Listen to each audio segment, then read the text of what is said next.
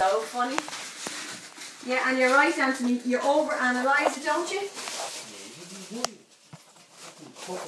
Lorcan, Yes. ring Kevin Dundon, tell him he's a bollocks. Bollocks.